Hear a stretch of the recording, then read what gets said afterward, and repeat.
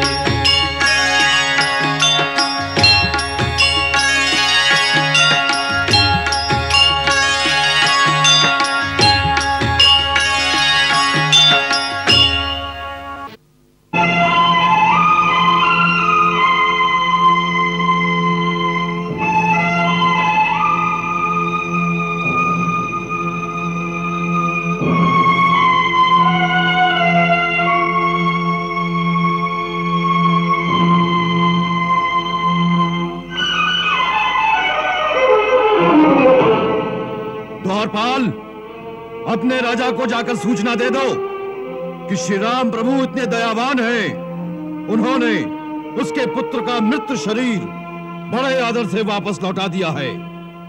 अब वो अपनी रीति के अनुसार उसकी अंत्येष्टि क्रिया कर सकते हैं। तब तक हम लंका पर आक्रमण नहीं करेंगे।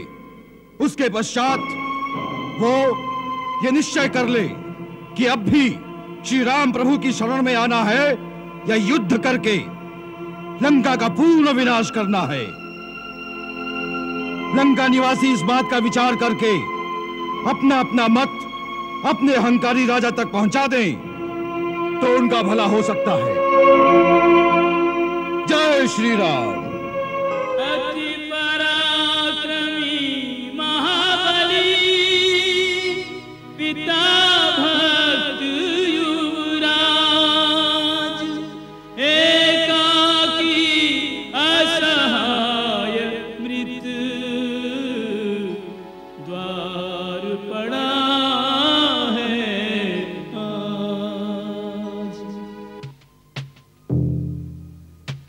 एक राजपुत्र एक तेजवंत एक शक्तिमान कहला।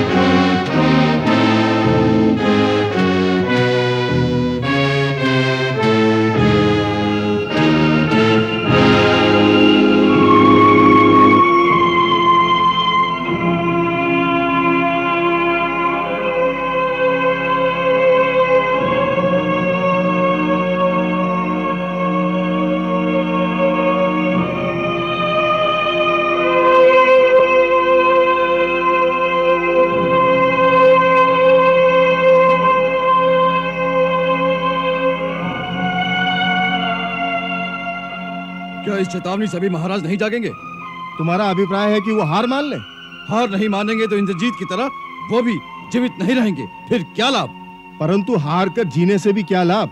फिर तो प्रजा भी उनका आदर नहीं करेगी। प्रजा का आदर केवल वीरता पूर्वक युद्ध करने से ही नहीं मिलता। कुछ और भी गुण होने चाहिए राजा में। यदि वो इस युद्ध में जीत भी गया तो प्रजा का क्या हित होगा? उन्होंने अपनी काम वासना की पूर्ति के लिए लाखों और हज़ारों स्त्रियों को विधवा और माओ को पुत्रहीन कर दिया है। मुझे तो ये श्री राम कोई बहुत भले मनुष्य लगते हैं। देखो, राजकुमार के शव को निरादर से नहीं, वरन अपनी स्वयं की चादर से ढांक कर भेजा है। लंकापुरी के दुर्ग का यह स्तंभ दहतम दह गया। लंकेश के इस लाडले का रक्त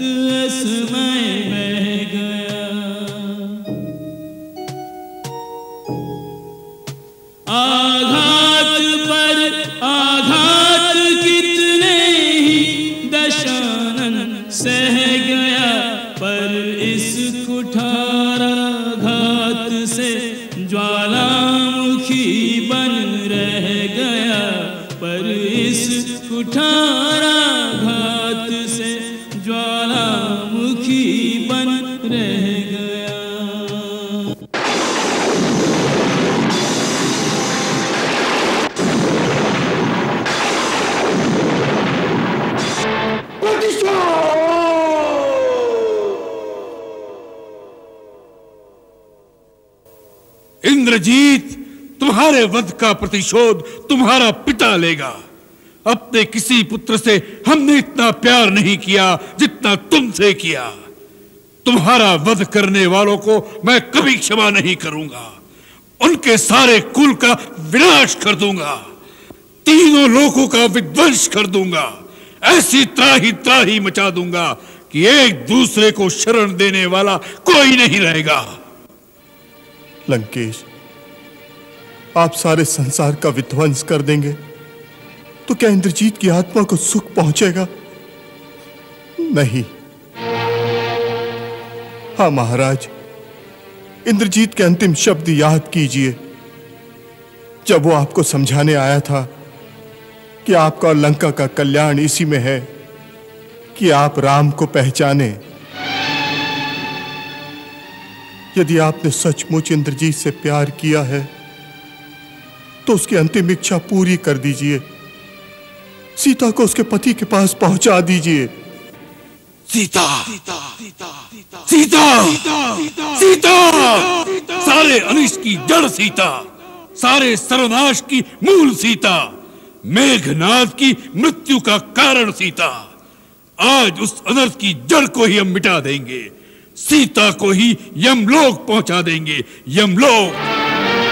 सीता! एक एक करके तू हमारे कुल के समस्त योद्धाओं को खा गई है।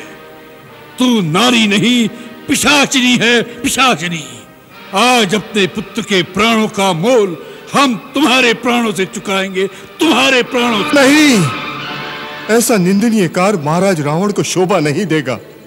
दानव राज मैं यदि आप मेरे ससुर न होते तो जिस हाथ ने रावण का हाथ पकड़ा है। आज हम उस हाथ को ही काट देते आज शोभा अशोभा की बात करने का समय कहाँ रह गया है?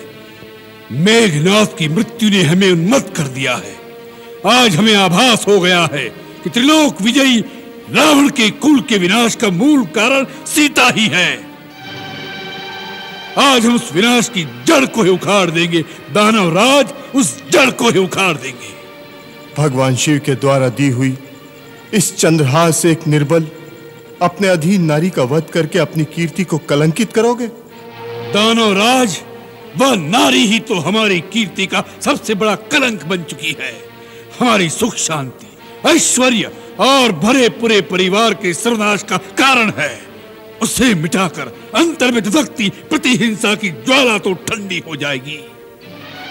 हे दशानंद जिस चंद्रहास से तुमने दिग दिगंत में अपने पराक्रम की धाक जमा दी, जिसकी धार से तुमने इंद्र कुबेर दिग्पालों के शीश अपने चरणों में झुका लिए, उसे एक निर्दोष निरी नारी के रक्त से रंजित करोगे तो तुम्हारे आराध्य भगवान महादेव भी तुम्हें क्षमा नहीं करेंगे। स्त्री हत्या से बड़ा पाप, अधर्म और कायरता दूसरी नहीं। नहीं! सीता जैसी अमंगलकारी स्त्री का वध कोई पाप नहीं। वो इस योग्य नहीं कि उसके लिए इतना मोल चुकाया जाए। नहीं बस आज जो हम मोल चुका रहे हैं, वो सीता का मोल नहीं चुका रहे। लंका की रक्षा का मोल चुका रहे हैं। यदि इंद्रजीत और पूज्य माल्यवान के संधि के परामर्श को आप नहीं मानते तो दूसरे दृष्टिकोण से सोचिए। शत्रु ने राक्षस जाति को मिटाने के लिए आक्रमण किया है। हमें अपनी जाति और उसके गौरव की रक्षा करनी है। इस समय यह आवश्यक है कि हमारा राजा कोई ऐसा कार्य न करे, जिससे हमारी जाति के गौरव को कोई धब्बा लगे। आज हमारा सबसे वीर योद्धा लंका का सबसे अमूल्य रत्न मारा गया है। यह परम दुख और संकट की घड़ी है। ऐसे ही समय में जातियों की सभ्यता और उनके धैर्य की परीक्षा होती है। यदि आप सीता का इस निसहाय अवस्था में वध कर देंगे तो सब कहेंगे कि रावण युद्ध में राम से टक्कर नहीं ले सका। तो एक निसहाय स्त्री का वध करके अपनी वीरता दिखा रहा है। लंकेश यह धैर्य धारण करने का समय है। इस समय सारी लंका आपके मुँह की ओर देख रही है कि उसके राजा में कितना साहस कितना धैर्य है। अब आपके कंधों पर लंका की रक्षा का सारा उत्तरदायित्व आ पड़ा है। क्या महान रावण अपने उत्तरदायित्व को संभालेगा? या नहीं? अवश्य संभालेगा। दशानंद एक बार फिर सोच लीजिए। राजा का उत्तरदायित्व यह भी है कि अपनी प्रजा के हित के लिए अपने अहंकार की बलि देकर भी शत्रु से संधि कर ले, जिससे उसकी प्रजा का संहार होने से बच जाए। अपनी प्रजा को संघार से बचाने की शक्ति अब भी अकेले रावण में है, दानव राज। क्या लंकावासी ये नहीं जानते कि उनका राजा तीनों लोकों का विजेता है? न रावण के बाहु निर्बल हुए हैं, न उसके अस्त्र शस्त्र कुंद हो गए हैं। जाओ उनसे जाकर कह दो, हमें सेना की कोई आवश्यकता नहीं। हम अकेले ही संसार की सारी सेनाओं का संघार कर सकते हैं। कल हम युद्ध में अपने अजय रथ पर निकलेंगे, जिसे देवता भी परास्त नहीं कर सकते। फिर उन दो बेचारे मानवों की क्या शक्ति? बस, बहुत हो चुका उनसे खिलवाड़। अब उन दोनों का अंत समय आ गया है। उन दोनों का अंत समय आ गया है।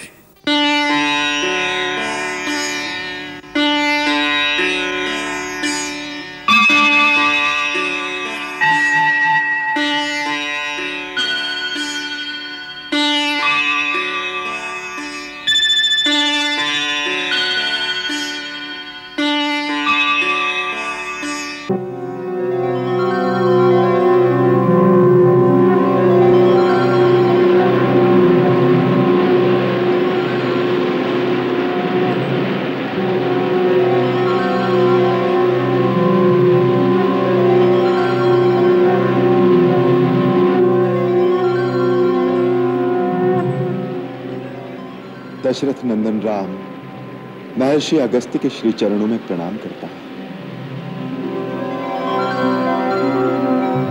विजयी भाव यशस्वी भाव आइए आसन ग्रहण कीजिए महर्षि।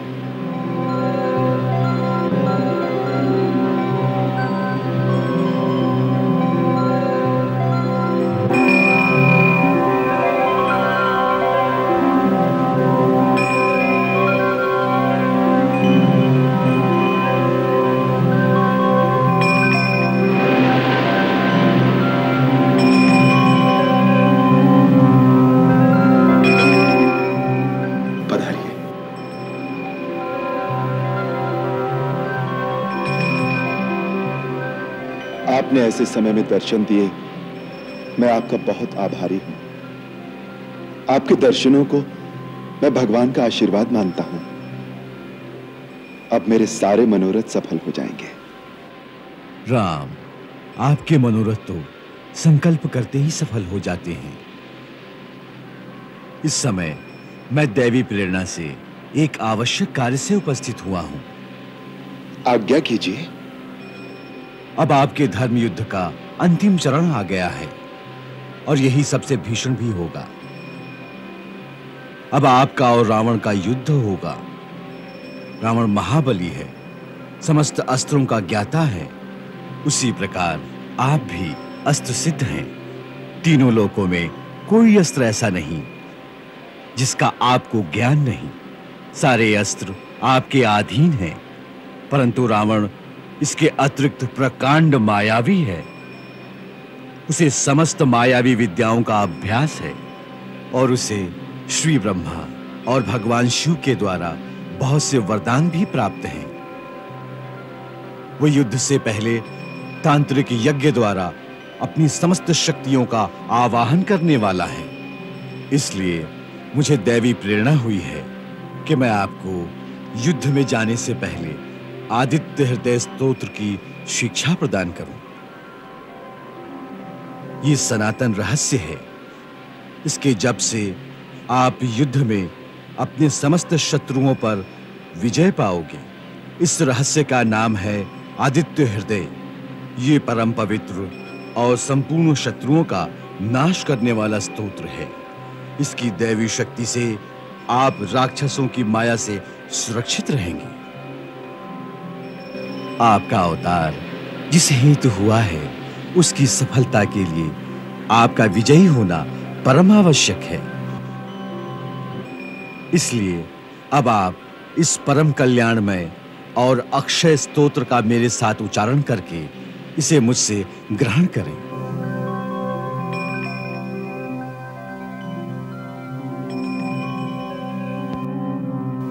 ॐ अस्य स्तोत्र आगस्त्य ऋषि अनुष्टुपछन्दः आदित्यहृदयभूतो भगवान् ब्रह्मदेवता निरस्ता शेषविघ्नतया ब्रह्मविद्यासिद्धौ सर्वत्र जयसिद्धौ च विनियोग। ॐ रश्मिमते नमः ओम रश्मिमते नमः। समुद्यते नमः। समुद्यते नमः। देवासुर नमस्कृताय नमः। देवासुर नमस्कृताय नमः। विवस्वते नमः। विवस्वते नमः। भास्कराय नमः। भास्कराय नमः। भुवनेश्वराय नमः। भुवनेश्वराय नमः। नमः पूर्वाय गिरये पश्चिमायाद्रये नमः। नमः पूर्वाय गिरये पश्चिमायात्राय नमः। ज्योतिर्गणानां पतये दिनाधिपतये नमः। ज्योतिर्गणानां पतये दिनाधिपतये नमः। जयाय जयभद्राय हर्यश्वाय नमो नमः। जयाय जयभद्राय हर्यश्वाय नमो नमः। नमो नमः सहस्रांशो आदित्याय नमो नमः। नमो नमः सहस्रांशो। आदित्याय नमो नमः। कराल भाल पट्टिका धगत धगत धगत ज्वलत धनंजयाधरी कृत प्रचंड पंच सायके धराधरेन्द्र नंदिनी कुचाग्र चित्र पत्रक प्रकल्पनेक शिल्पनि त्रिलोचने मतिर्मम।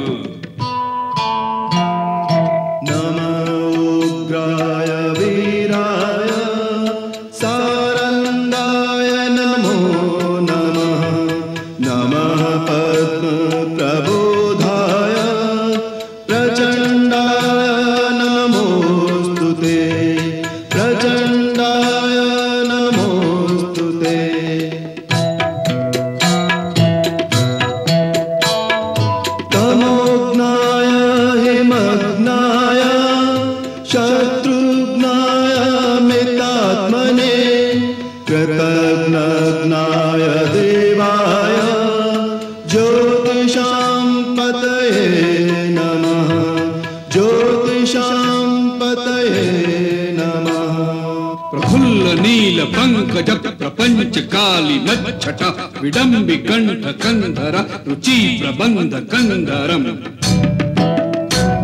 स्मरक्षितम पुरक्षितम भवच्छिदं मखच्छिदं गजच्छिदान्त गच्छिदं तमन्त गच्छिदं भजे।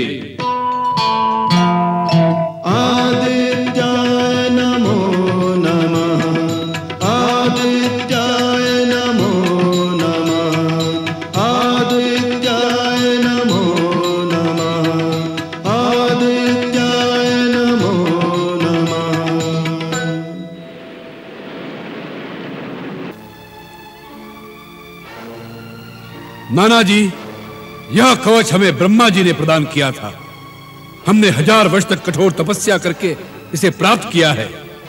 इसे पहनने के पश्चात इंद्र भी हमारे सामने आने का साहस नहीं कर सकता तो फिर दूसरा कौन आएगा? यह कवच अभेद है, अजय है, कोई अस्त्र इसका भेदन नहीं कर सकता। परंतु किसी अबला का श्राप तो इसके टुकड़े टुकड़े कर सकता है। हाँ नाथ यदि कोई सती स्त्री श्राप दे तो स्वयं ब्रह्मा और शिव भी उससे किसी प्रकार से आपकी रक्षा नहीं कर सकते। फिर ये कवच क्या कर लेगा? और सीता तो परम सती स्त्री है। मुझे बस उसी से डर लगता है कि वो कहीं आपको श्राप न दे दे। वो तो महान पतिव्रता स्त्री है। उसका श्राप कभी व्रता नहीं जा सकता। और वहाँ कोई कवच आदि काम नहीं आ सकते।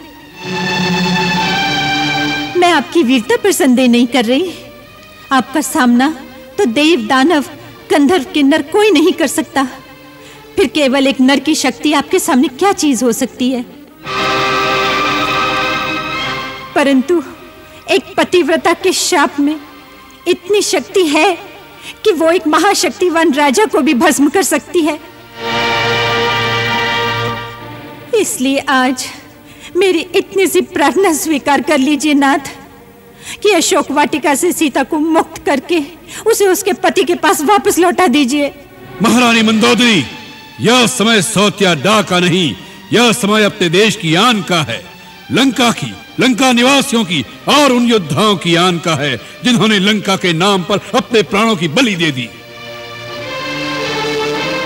यदि इसी प्रकार दांतों में घास का तिनका दबाकर शत्रुओं के चरणों में मस्तक नवाना था और उसकी स्त्री को भेंट स्वरूप पुनः उसके पास लौटा देना ही था।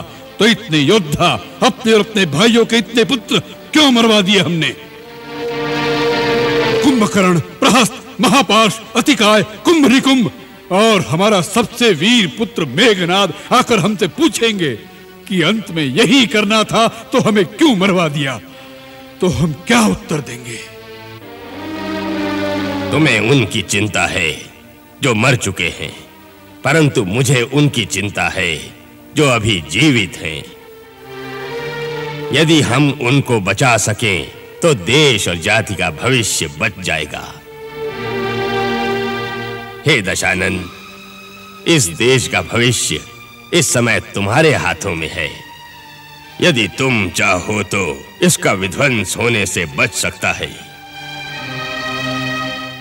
तुम चाहो तो आज लंका मर सकती है, और तुम चाहो तो आज लंका जी भी सकती है। नाना जी, जीना अच्छी बात है, परंतु जो अपनी आन को बेचकर जीते हैं वारांगनाओं की भांति उनका कोई आदर नहीं करता। मृत्यु तो एक दिन अवश्य आएगी, परंतु जो कायर होते हैं, वो मृत्यु के आने से पहले कई बार मर जाते हैं।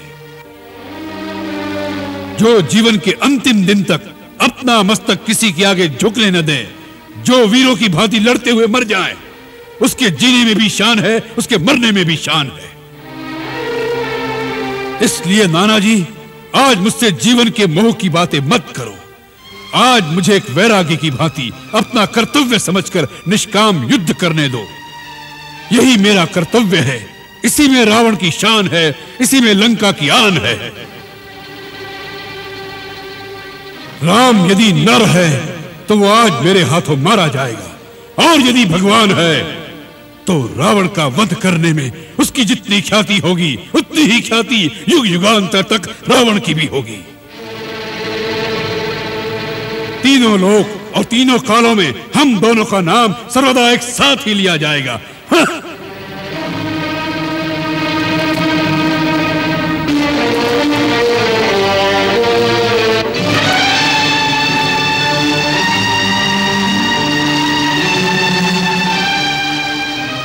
महारानी मंदोदरी, हमारे शरीर नश्वर हैं, आत्माएँ अमर हैं, इसलिए शरीर रहे न रहे, इसका शोक न करना। केवल इतना विश्वास रखना कि तुम्हारा रावण कभी नहीं मरेगा।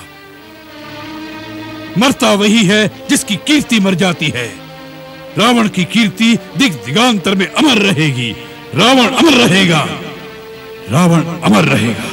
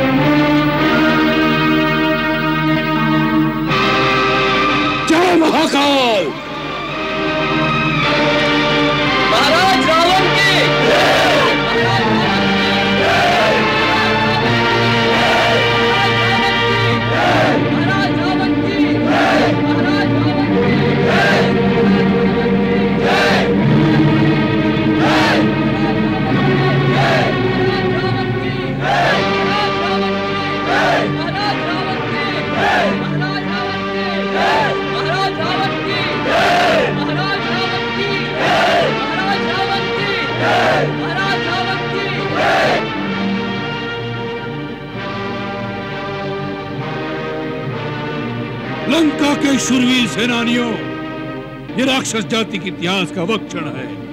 जब या तो राक्षस जाति मिट जाएगी, या तीनों लोकों में उसकी जय जयकार होगी। जीवन में कभी कभार वो दिन आता है, जब प्राणी अपने हाथों से अपना इतिहास लिख सकता है। आज वही दिन है, जब हमें न केवल अपना अपना वरन अपनी जाति का, अपने देश का इतिहास अपने वक्त से लिखने का समय आ गया है। शत्रु का मनोबल आज बड़ा हुआ है। दुर्घष महाबली कुंभकर्ण और इंद्र विजेता मेघनाथ जैसे पराक्रम वीरों को उन्होंने एक देशद्रोही की सहायता से पराभूत कर दिया है। परंतु वो नहीं जानते कि अपने देश की गौरव पताका को ऊँचा उठाने के लिए लंका का बच्चा बच्चा इंद्रजीत और कुंभकर्ण बनकर उन पर टूट पड़ेगा।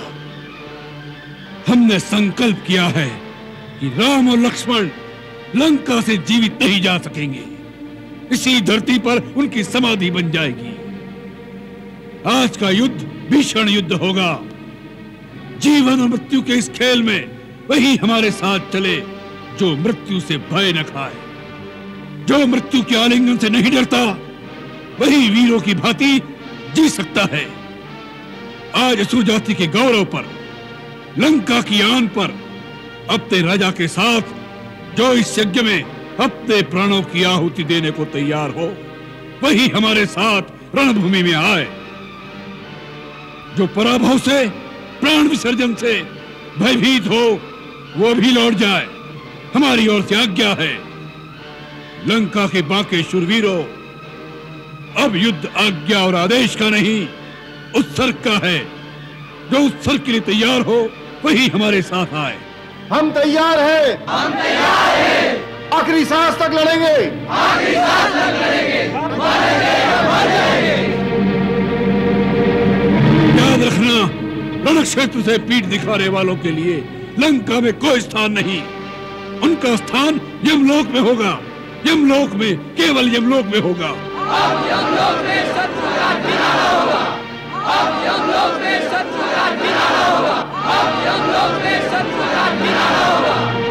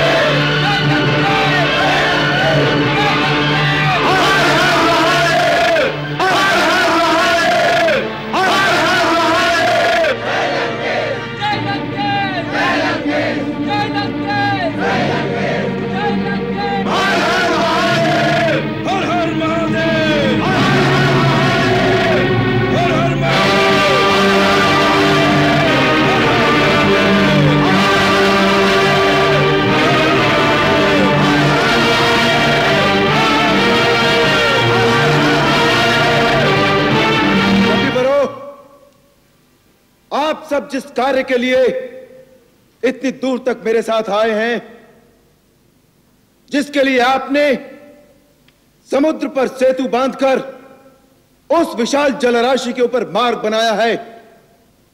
आज उस कार्य के पूर्णतया सफल होने का समय आ गया है। रावण के सारे योद्धा, सारे पुत्र और भाई एक एक करके विनाश को प्राप्त हो गए हैं।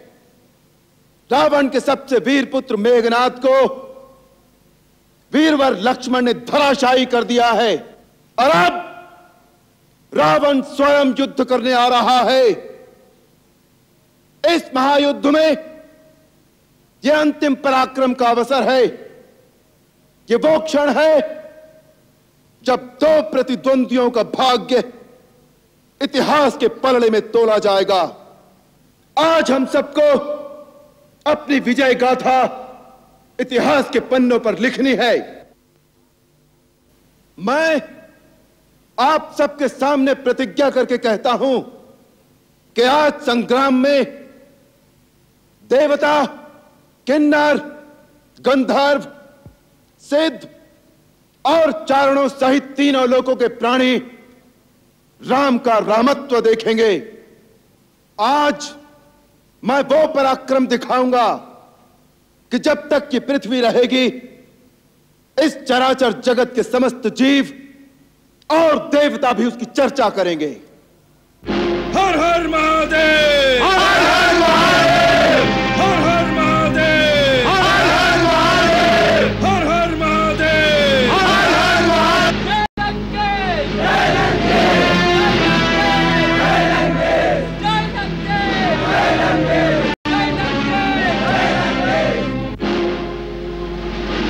रावण पर पहला प्रहार अंगद और हनुमान करेंगे। नल और नील पश्चिमी मोर्चे पर सेना का संचालन करें। जामवन जी, आप और केसरी जी, महाराज विभीषण की सुरक्षा का ध्यान रखें। आज रावण अवसर पाते ही विभीषण जी पर अवश्य प्रहार कर सकता है। श्री राम की आज्ञा है कि उनकी सुरक्षा का विशेष ध्यान रखा जाए।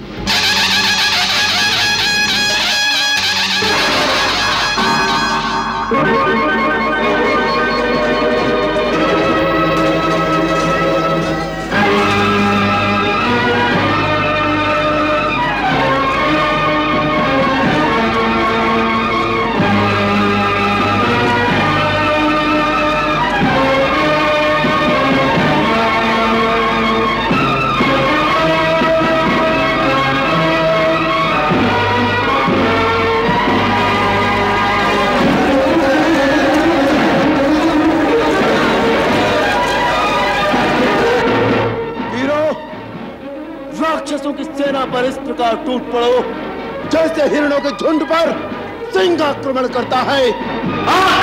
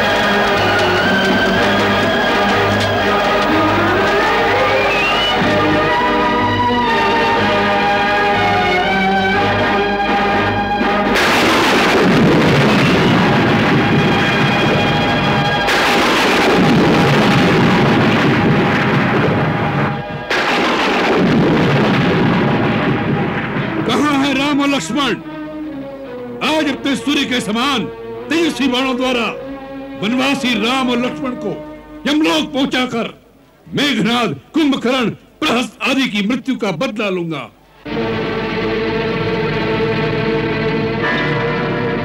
यदि हमारे हाथों बच जाओगे तो प्रतिशोध भी ले लेना रावण। बहुत दिनों के पश्चात रणभूमि में आए हो। उस दिन श्री राम ने दया करके तुम्हें छोड़ दिया था। परंतु आज हम तुम्हें जीवित वापस नहीं जाने देंगे। मंगल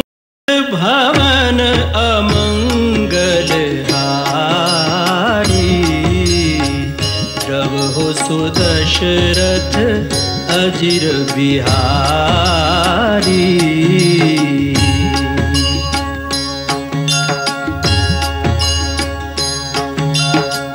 सीताराम चरित अति पावन। मधुर सरस अरु अति मन भावन